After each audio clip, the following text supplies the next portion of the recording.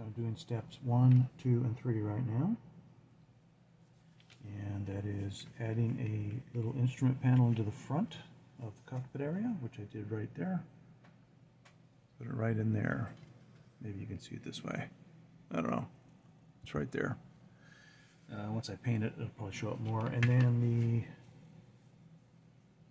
pilot and co-pilot seats with the two sticks. Put those in. Now I'm going to paint those. And then they get inserted into uh, the cockpit area. Okay, so I'll get out the stuff I need for painting. Gonna work on the main landing gear now.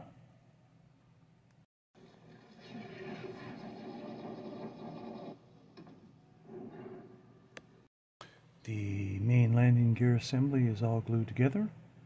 Now I'm going to paint it and add the wheels to the axles. Okay, I have the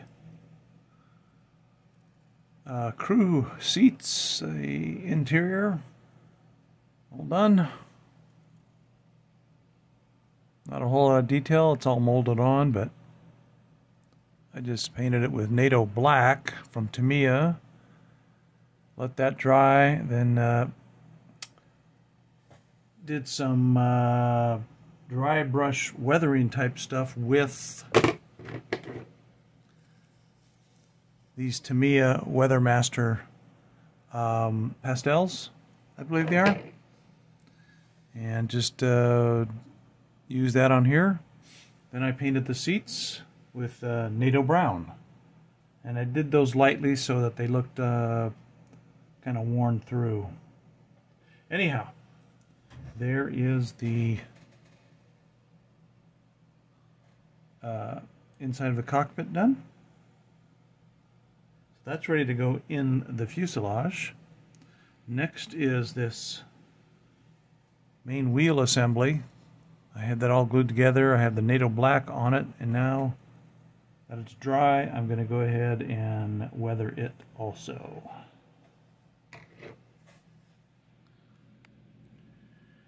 Okay, I'm adding the wings to the top fuselage half, as you can see. The um, main landing gear assembly is all done. It's awaiting to be put in with the wheel, getting the wheels attached to it. The canopy has been put in right now. It's you're looking at the bottom side of it, but it has been put in. so next, what they're asking me to do is build the front landing gear.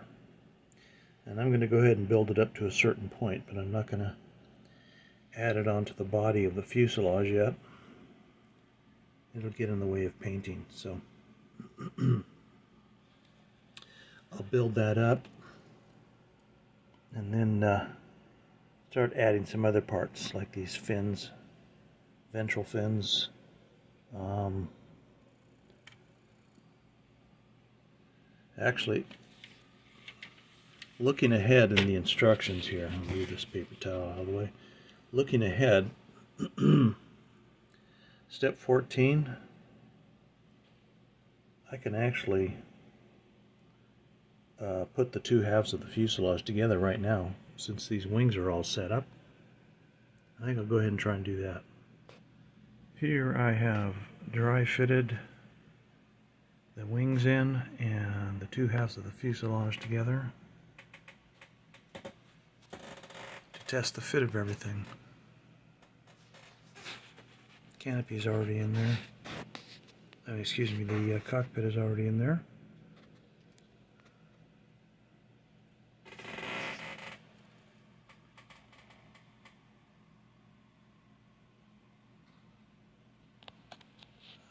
Um, I've already dry fitted this um, about three or four times, and each time I do, I sand a little bit more in this area right here where the seam is it uh, was way too tight and it wouldn't go together. But it looks like it's good now.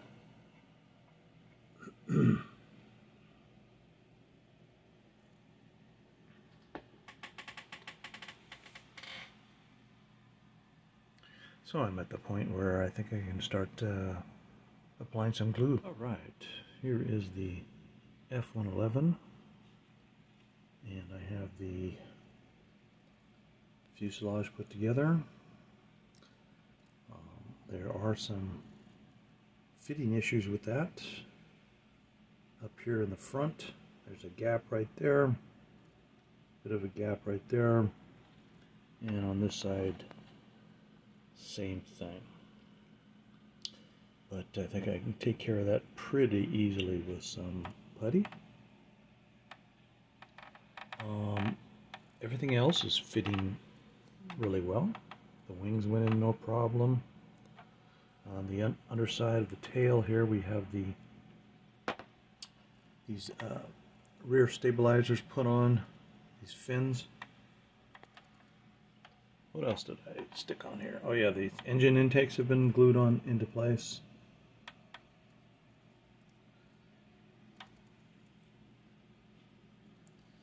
So, um, next is going to be attaching a tail cone. This piece right here. And here's the instructions showing this tail cone goes on the uh, in between the uh, engine nozzles. And uh, so this tail cone is two halves that I glued together and do a little sanding on it and tidy up the uh, seams on it before I glue it in place. this is where the uh, main landing gear will be and there's the nose gears right here in this this uh, bay um, and yes, the wings do work. See that? The wings do fold in and they come back out. Yeah. You know, this is a really old Monogram kit and it's uh, actually not in too bad a shape. And it's starting to look like an airplane.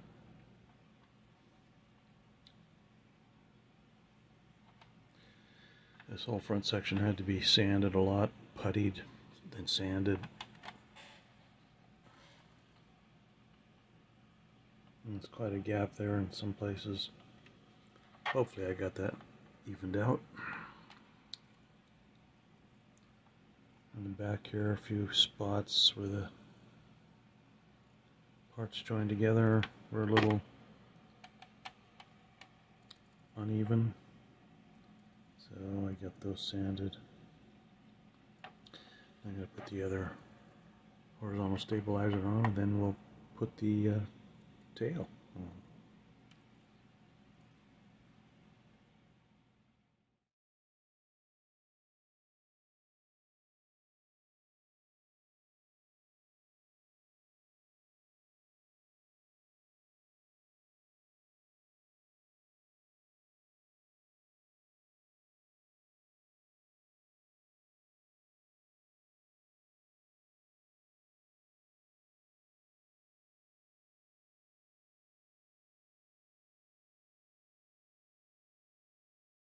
Okay, the landing gear is now on and I've put the decals on. I'm letting the cement on the landing gear uh, completely cure up for a while before I try and set it on its on its wheels. I don't want to uh, do it too early. I want these I want these this landing gear assembly to be nice and strong. So there it is. I still have the nose cone to put on. It has weights in it so it doesn't become a tail sitter. And then the last thing after that is the canopy. Uh, well, excuse me, the exhaust cans. These have to go on too.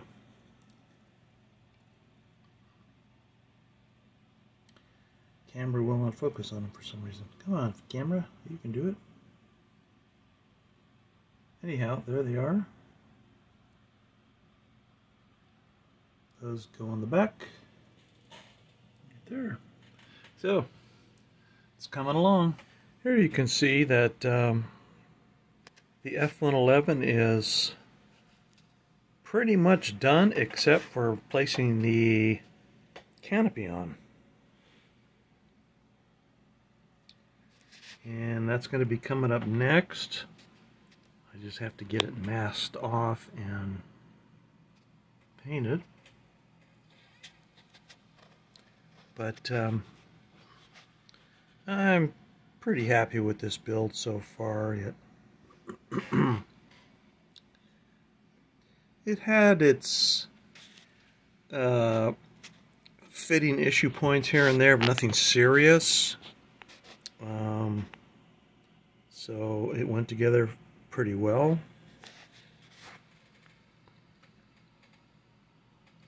One of the biggest fitting issues was getting these exhaust cans put into place. The holes in the back of the fuselage around the tail uh, didn't exactly work that well, so I had to kind of modify them a little bit and, and sort of use my X-Acto knife. It's like they were closed up too much. Anyhow, I got that fixed.